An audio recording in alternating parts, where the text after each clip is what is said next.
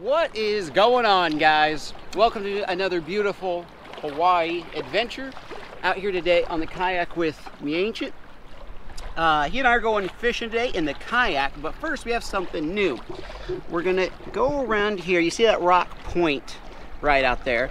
We're gonna go to that rock point and there's some tide pools around it and we're gonna find some little minnows and little fish, try to catch them in a net, and then we're gonna take them out way out there to a reef and drop them down over the reef, try to catch a big fish.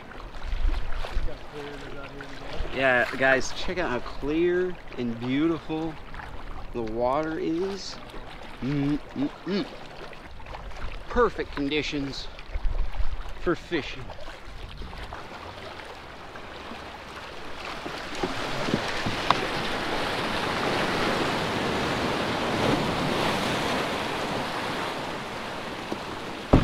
Whoa, that was a little intense.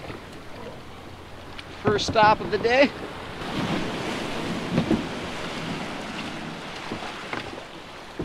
All right. That was a little intense there. All right, on this spot here, we will, oh yeah, tide pool's looking good. It is low tide, which is the only way to catch them because they're kind of trapped. So here's the strategy. My dad is gonna go stand over it right there, and uh, I'm gonna get at the, at the mouth of this, and he's gonna scare the minnows toward me.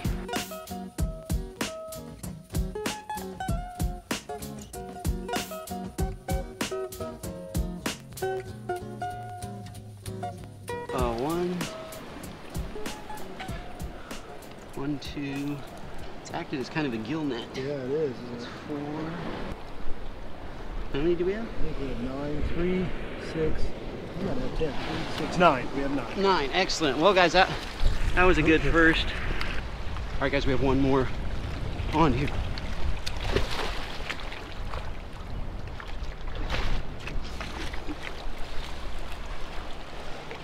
All right, chase. Yep, pops, pops, chase him, chase him now.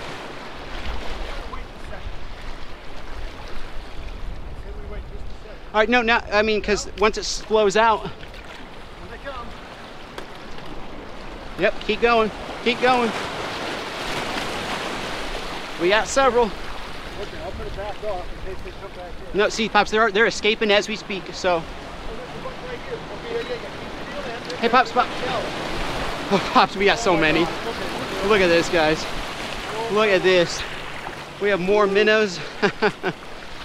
Oh my gosh. We've got like, Hey, hey, nice look at that, guys. All right, now we're cooking. Now we got some bait there. I see one, two, three, like 12 right there. Got a nice dozen. All right, guys, there is our bait of the day. A ton of really good minnows. I'm gonna release this little aquarium looking fish that we caught. They're so beautiful though. I'm gonna take that guy home from my aquarium. There you go.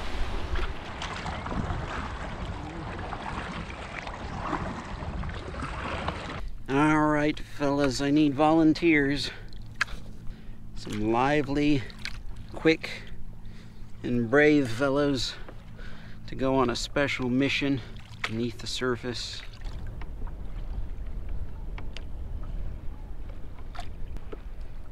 All right, guys, there we go. A little glass minnow hooked right through the lips with a fairly small hook. Let's lower him down there. Let's hope this is dynamite like we hope it is. Hopefully catching stuff on all that stuff. Well, I'm getting a bite already. Got one. Are you kidding me? That fast. It's a decent fish too. Guys. tell he's the kayak. Guys, I mean, like, uh, okay, I look at my GoPro, it's at 50 seconds. I already have a fish. Oh wait, it's a huge needlefish or something. Oh my gosh. Yeah, it's a big needlefish. How cool. Whoa! Oh, it's a trumpet fish actually, in the same family. This is a huge one. Look at this dude. This is my this is like my personal best trumpet fish. Holy mackerel. Guys. Whoa! Guys, wait till you see the colors. I mean, ah, he whips you with his tail. Look at that. Look how he's striped. Big eyes. That is so, so cool. That's a beautiful, beautiful fish. Some people eat these. I don't think we will. But I mean, uh, less than a minute, on the, uh, well, less than a minute on the minnow. That's interesting you hit that low too, you know, because you were down there. I, I usually think those, oh no, they're at Oh, the bottom. Yeah, they're near the bottom. Right. Oh, there he goes. And uh, he swims off. Sweet.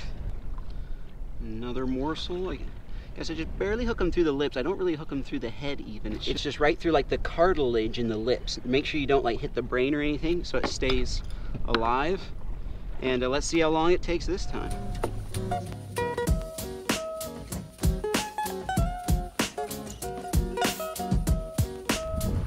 I'm getting a bite. I'm getting a bite, guys, guys, guys. I, I got another one. I got something else. Guys, uh, uh, 45 seconds I see on the on the GoPro. Oh, it's another one. That's small. One. Must be in a school. We might have to move if there's a hole because these can spool up. But still, another cool fish. Oh, oh, they whip you with their tail. It kind of stings. Oh, there you go.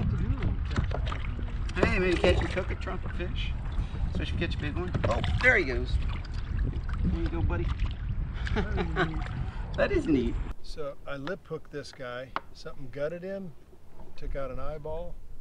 That's grizzly. That is grizzly. Those Yeah. fish are very precise. I mean, to have their Yes, little nipper mouths Yeah. come and just bite the eyeball off and stuff. That's a tough way to go. Coasting through here a little more. Yeah, I'm fine. I, I don't think you can see it, but there's still more coral right Is there ahead of us. Okay. So we're, we're around it. Or Yeah. sand right under us. But oh wait, I just got a really good bite. Got him. Oh, you did, Asa. You did. He just thump, just like bam, Nice. clobbered it. Nice. Uh, you could I, I can just envision the fish sucking it up because it was it was that Uh-huh. thump of just like inhaling it. I love it. Let's get doubles. What do we got? You, Uku, maybe.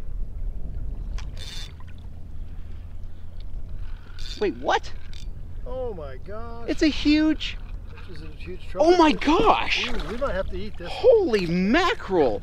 I didn't know they got this big. Seriously. I've seen them underwater that big. Oh, real? I did not. I've never seen one this oh, massive. That's a big one. Holy mackerel, guys! Well, that's a trumpet. That's a trumpet. Yeah, that's not needle. Guys, there are different kinds. There are needlefish, trumpet fish, coronet fish. Yeah. Or no, this is Oh, this is a no, cornet fish. cornet. So yeah, cornet fish. Sorry, yeah, not trumpet. Kind of get mixed, all mixed up. They're all in the same family. I, I did not know they got this big. Is- good knit.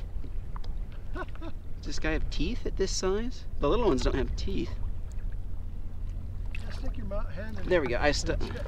I checked. I stuck my hand in there. Oh my. Oh, he's got a bite though. Guys, Good uh, good knit. How long is that? That's a good four feet. You know what? At least. On the, it, it- oh, it's to the second guide. Oh yeah. on this rod, so we'll measure that. Holy, I, I, holy coronet fish, Batman.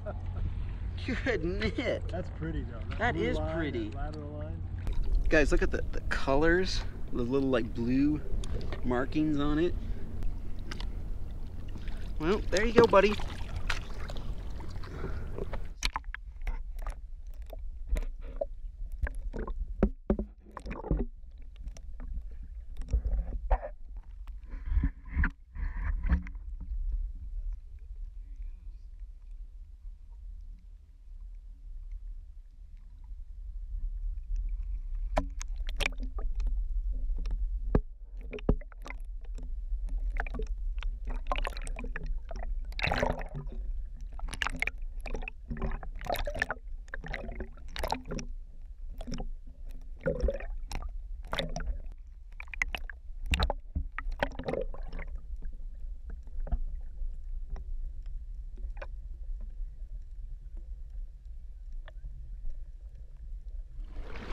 Guys, we're going for one final paddle before this wind knocks us off the water.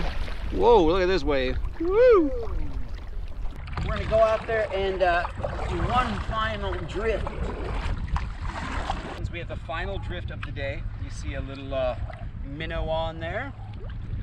And the wind is just getting too much for us out here. So we're gonna drift one more time and head back home. So at this point, I have to switch over to a voiceover because the wind was so gusty that it ruined the audio for the GoPros.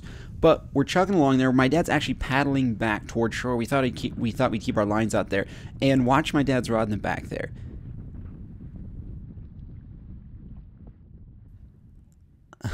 Luckily, he grabbed it.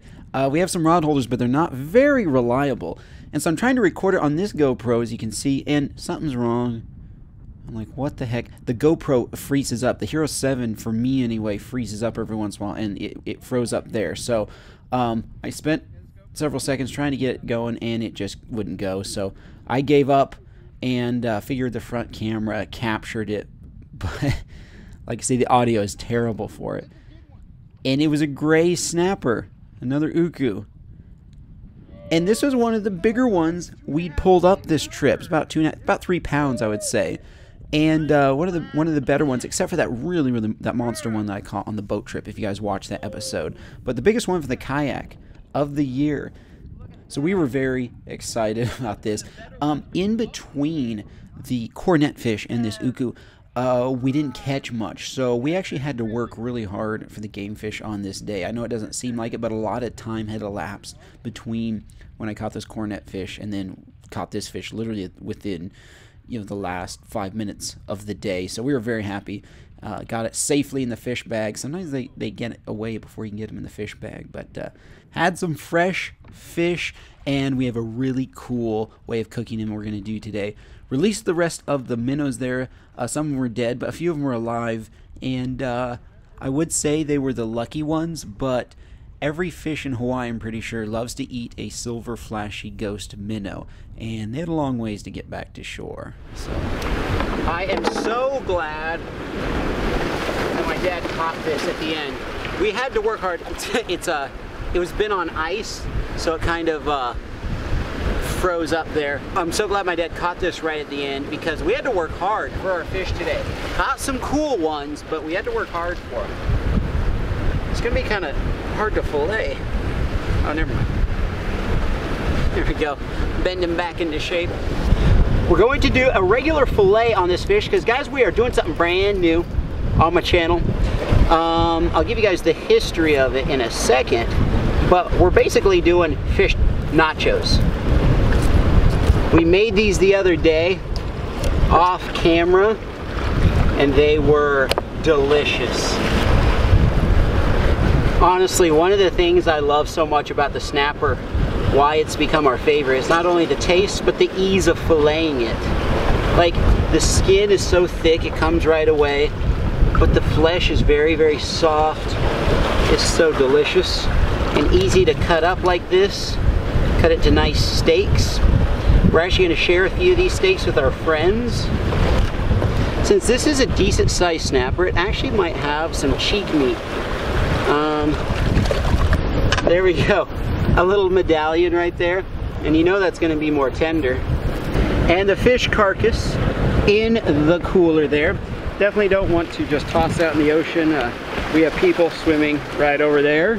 Full confession, one time, this is when we were teenagers, my brothers and I caught a uh, houndfish actually and decided let's eat a houndfish. So we fillet it up and we threw the carcass right off this point. And about an hour later or so, here comes a shark. It was a small shark. In our defense, it, was small, but there was a shark that was trying to eat the carcass of the houndfish um, out here. And uh, yeah, so we learned our lesson.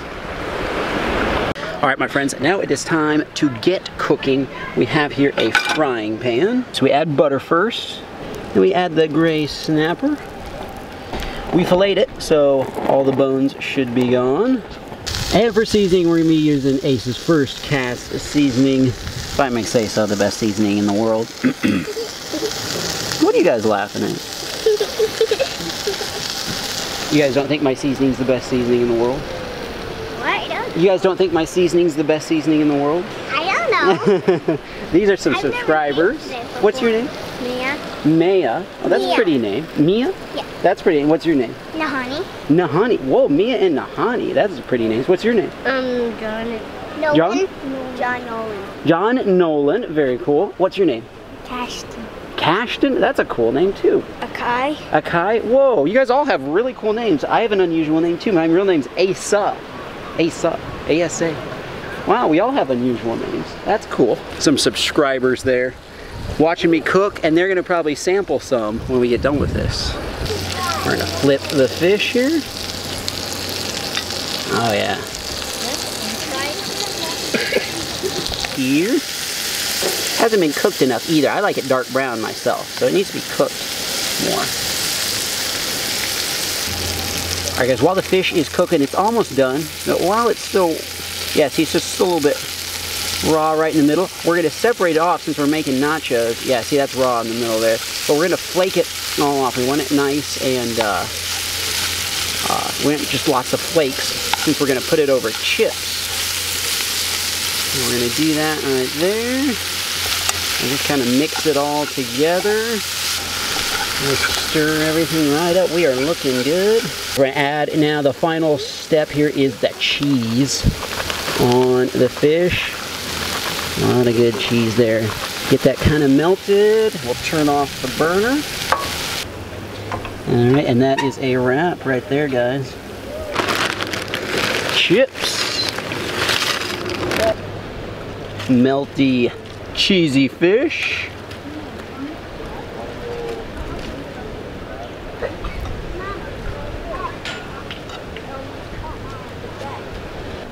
Now this is a dish we might have to do again. That just looks amazing. All right, guys. So we got some. Uh, my dad's gonna assemble one. We got two plates of nachos. My dad's gonna assemble one with all the fixins. But this honestly looks so good that we're just gonna leave one plain with just cheese and fish. He's gonna fix this one up real fancy though. Yeah. Salsa, sour cream, lettuce.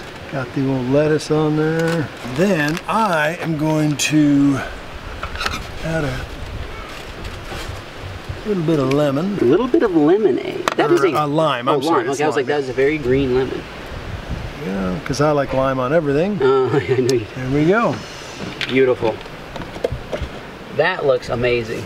All right, guys. So we had some uh, some viewers, some subscribers join us here, and we have two huge plates of nachos. And so we're gonna dig in here, but first we're gonna say a quick prayer over our meal because we always pray over our meals. Okay? Everybody, fold their hands real quick. All right.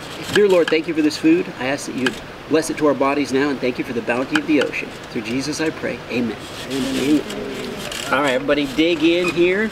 Everybody grab you one. I'm here. going for the plain one, just eating the fish. I think I'll do that. I only got one thing. Oh, well, get get you some Mm, fish yeah, I got there. some fish on there. Mmm, that's really good. Mm. Well, The best. that was really good. This is so good.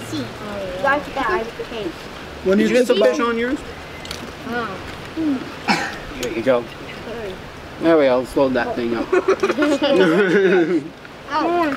We can take that one. When you think about fish tacos, you usually think about the ones that are in a hard shell or a soft shell, and they wrap them up. But this is the same thing. It's just it's just chips instead. Yes. Guys, we got this idea from uh, the other day.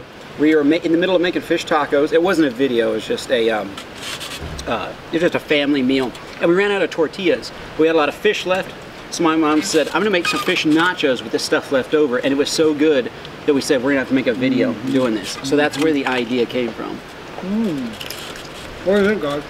Mmm, that really good. Really good. Really Good. I know I'm liking it. Fish nachos. Whoa, you're gonna take the whole. Wow. You good grief. You want that piece? You're gonna take all the fish. Fish nachos, you gotta try this yourselves. It is amazing. Thank you, Pops. That's always fun fishing with you. Yes, indeed. Thank you guys for taste testing it with us. And thank you guys for watching, and we'll all see you guys in the next one.